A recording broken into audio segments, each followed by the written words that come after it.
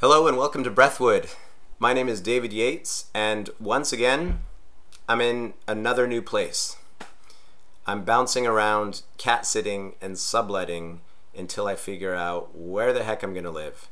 So, right now, technically, I remain homeless, and it's actually a good thing. It's making me rethink what I want in a future living situation, and it's making me get rid of a lot of stuff so I'm not carrying around so much.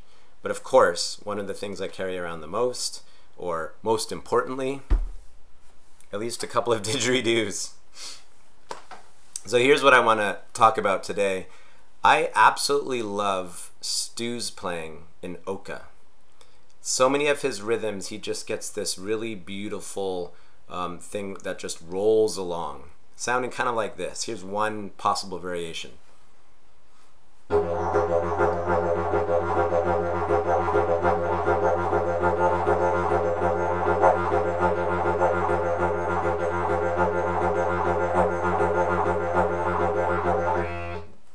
So on.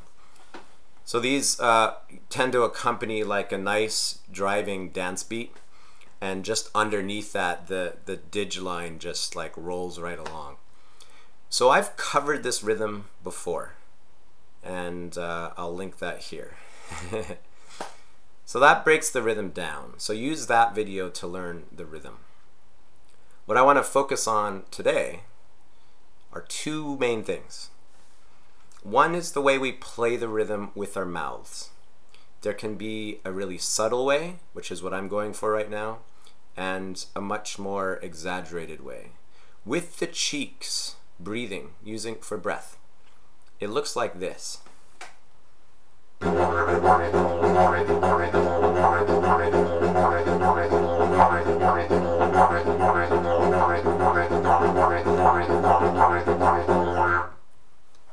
That's totally fine. In fact, that's how most people will approach it, at least at first, because that's where breathing is happening for them. And you get some more emphasized sounds. You get a much more pronounced wah.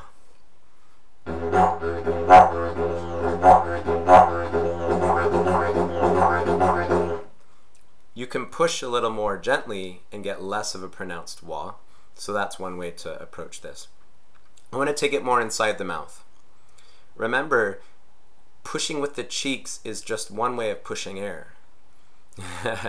it's also possible to push with the throat, and the motion in the throat feels kind of like going from an ah shape. So make the sound ah. Feel how open it is, ah, and then go ah mm, with the mouth still open, ah mm, ah mm, and feel how your throat has to close to make that sound. ah mm, ah ang,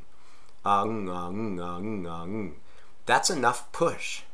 You don't need just it's all back there. That might be hard at first.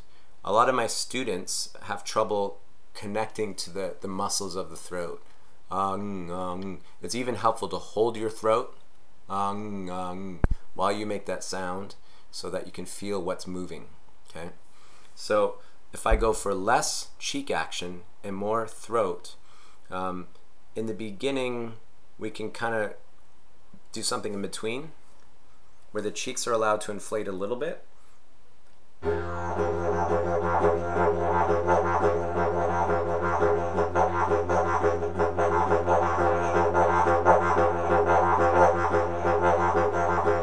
But eventually we don't need them at all. We keep them pulled in.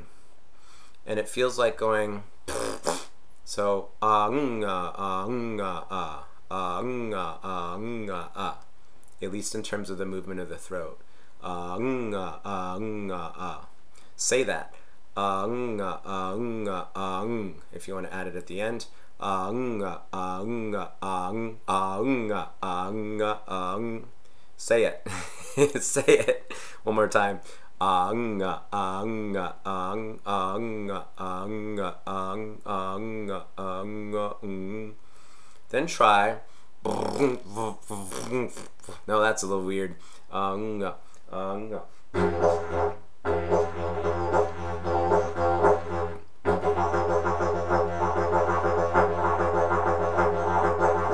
Ah, Then we add the T.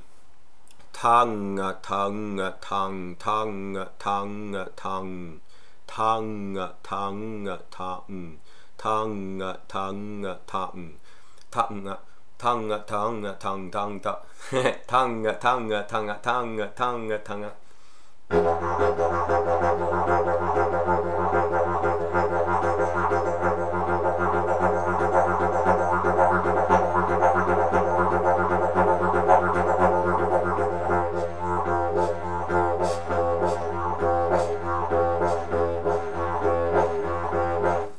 Course, the ng is the push of air, so that's when we breathe in. Ta, ah, ta, ah, ta, ta, ah, ta, ah, ta. So when we make the mouth shape more subtle, where it's really all just happening right here, not all out here, we get this really nice rolling sound when we can start to control the harmonics more specifically. So I'll do it with minimal harmonics.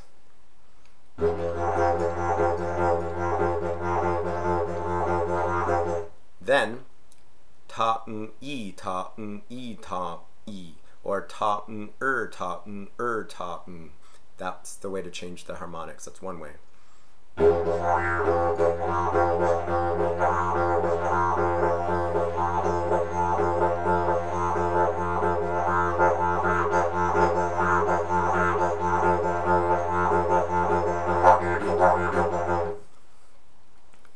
Hoping that makes sense.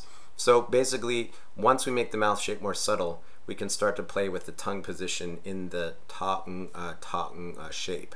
Ta ng e ta ng e. So smaller mouth, more subtle, gives you a little bit more control over the harmonics and a little bit more level kind of wavelength as it rolls along rather than the cheeks making the, the sound kind of bounce around everywhere. Um, from here, we can play with the rhythm a little bit. So right now this is just one two three one two three one two one two three one two three one two, And this happens in four beats. Da, da, da, da, da, da, da, da. One two three one two three one two one two three one two three one two. So four finger taps this whole beat happens. One two three one two three one two. 2, 3, 1, Ta-mm, uh, ta-mm, uh, ta-mm if we want to shift it and be more interesting and mix it up, we can do something like add a sound at the beginning. So right now it's da uh, uh, da uh, uh, da uh. What if we go da da uh, uh, da uh, uh, da da uh, uh, da uh, uh, da one two three one two three da one two three one two three. We've shifted kind of like the end sound to the beginning.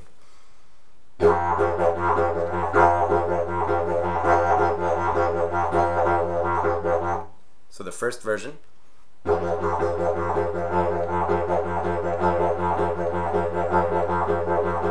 The second version.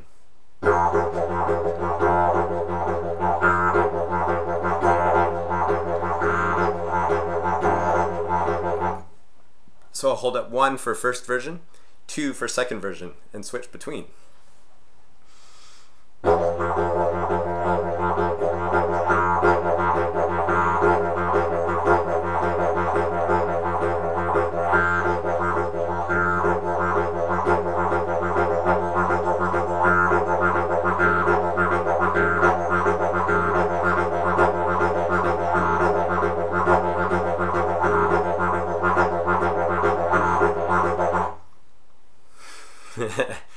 We can switch back and forth phrase by single phrase.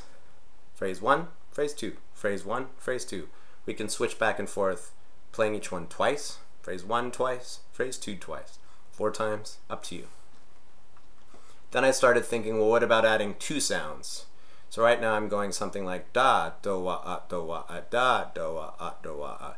What about da, da, do, wa, a, a? Ah, it changes how much space we have for the rest of the rhythm. Da da do wa ah ah. Da da do ah ah. Da da do ah ah.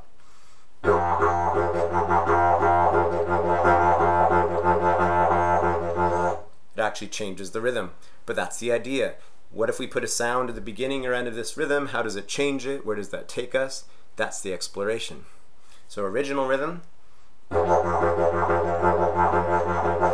one da at the beginning.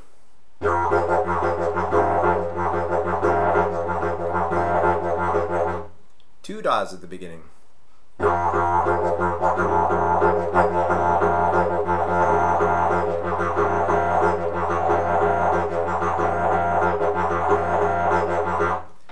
way I handle that third variation and the way the rhythm changes is to go da, da, do, wa, do, wa. That's one way. Da, da, da, ng, da, ng.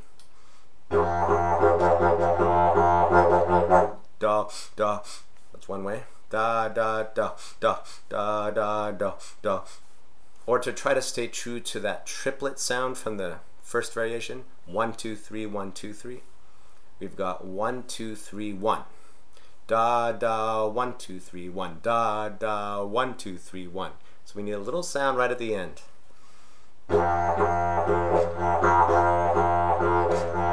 I'm just going di, da, da, ta, ng, uh, da, da, da, ta, ng, uh, da. Then I got to thinking, what about three sounds at the beginning? Da, da, da, da, uh, uh, da, uh, uh, da, uh. Ooh, it suddenly wants to get long again for me to help complete the roundness of the rhythm. Rhythms like to break up into chunks of varying lengths and then multiples of those chunks.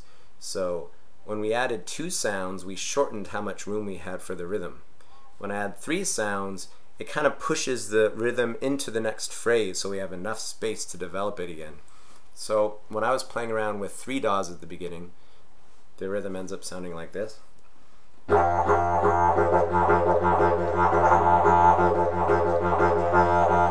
think that was it. Let me try that again.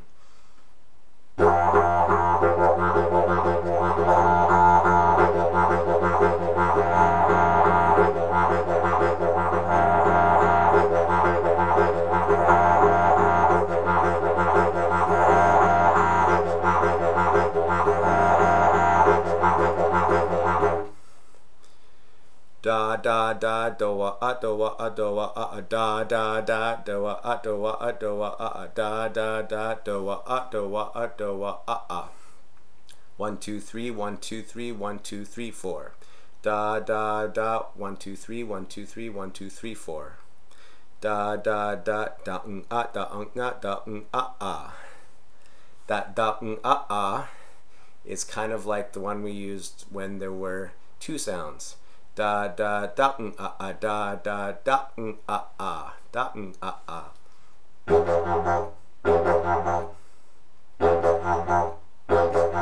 or da ng a da da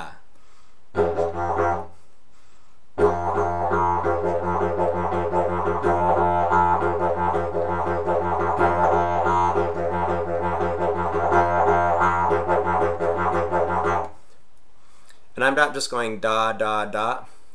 It's more like der der der der der dee der der.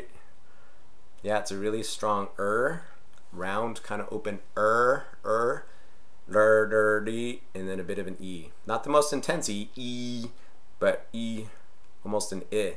Der der dee.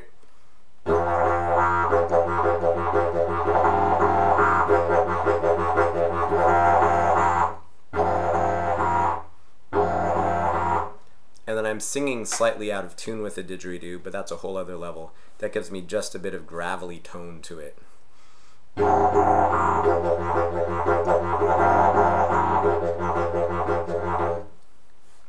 So let's see if I can do this. I'll play phrase one, two, three, or four, and switch between them. And for now, we'll leave it at that. I won't break it down too much more. It's just some ideas to throw out there.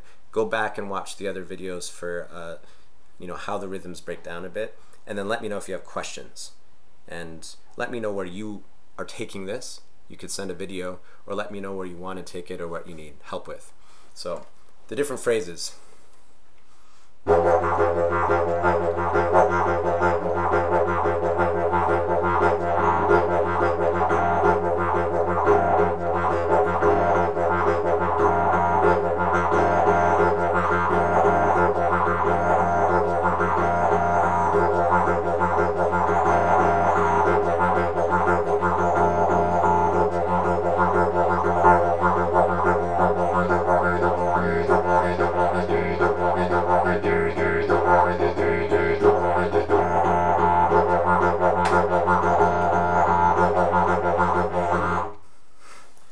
Whew.